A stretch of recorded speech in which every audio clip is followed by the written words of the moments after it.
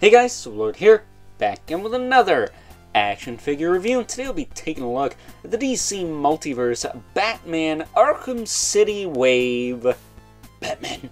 Of course, we're going to start off with the Dark Knight himself, but before I get too far ahead of myself, this is of course brought to us by the fine folks over at McFarlane Toys, and some of you out there are probably scratching your heads thinking, Overlord, what does this have to do with Halloween? This is Arkham City not Batman the Long Halloween, and while I do hope we eventually get a set of Long Halloween figures from McFarlane Toys, the Build-A-Figure, Collect-A-Build figure, whatever you want to call it figure, of this wave is none other than the big, giant, grotesque zombie himself, Solomon Grundy. And it doesn't get more terrifying than a lumbering brute who is brought back from the dead to frickin' kill you by any means necessary. So, with that being said, I'm done explaining myself to you bitches. So, before we get too far ahead of ourselves, why don't we cut right to the chase and get into meat and taters of this review and take a look-see at all the Dark Knight has to offer in terms of accessories. Well, he's got a grapple gun at least. Very slick looking grapple gun as well. I feel like the Arkham Asylum ones was a little different, a lot bigger than that. Uh, that's what she said. That said, we of course get a collectible trading card.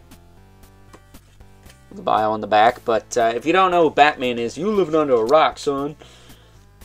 That said, he of course comes with the trademark hockey puck display stand we're used to seeing with all McFarlane Toys releases. And for those of you who are familiar with the Batman Arkham Asylum figure, this is more of the same. The cape is different though. It's not as big, so it takes up less room on the shelf. I do believe the gauntlets and possibly the boots are new. And then the head is the same, but they did not paint the pupils in the eyes, so you don't got to deal with that wonky eye thing going on. That said, if you want to do a head swap with this guy in Knightfall, you could probably do it and make something pretty bussin'. That said, as far as articulation on this figure goes, he's got the double ball peg in the head, so he can rotate and look up a little bit not a ton, really.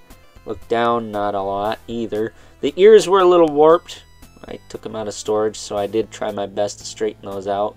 Might need to attempt to do that again before I put them on the shelf, but uh, his shoulders will go out about the same. This one maybe a little bit more so. So we'll focus on this arm. He will rotate as well. He's got a bit of a rotated cap thing going on the shoulder, as well as a bicep swivel. Single jointed elbow, which kind of sucks. I mean, they did retool the lower arm. The least they could have done was, was giving us a double elbow or something. Then he has a ball hinge wrist that can rotate, hinge, and rotate again.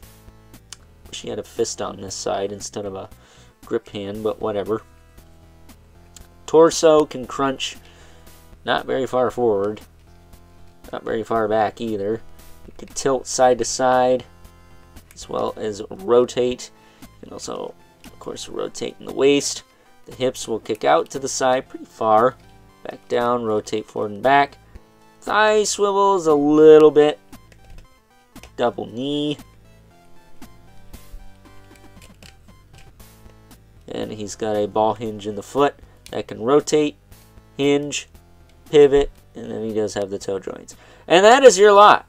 Um, that is this Batman in a nutshell. I think he's a little better than the um, Arkham Asylum one just because he takes up less real estate and he doesn't have the wonky eye thing going on. I don't recall mine having that issue, but I know a lot of people did, so I kind of get why this is the superior version. And if you have the Arkham Asylum one too, you can give him all the accessories because I think they're pretty much the same, other than maybe the grapple um, changed in the uh, Arkham City game from Arkham Asylum. I think we need more Asylum figures, though. We don't have very many. We got Joker, Batman, and Killer Croc, maybe? I don't remember if Killer Croc was Arkham Asylum or Arkham City in this line, but at any rate, it's time now that we move right along and take a look at some size comparisons. First up, here is good old Batman alongside a couple other figures from this Arkham City wave. We have Catwoman with her Kardashian-sized ass, and Ra's al Ghul with his crazy and a Hugh Jackman Wolverine looking hair. And I gotta say, these three scale well together. You gotta remember Catwoman is on stiletto heels of some kind, so she is to be a little taller than if she wasn't. Getting them out of the way here. So we can make room for our two regulars, the Mythic Legion's Brother Mandibulas. There, dropping his club again.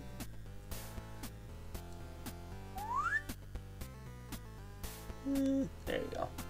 Don't want him falling over now, do we? The figure's worth money!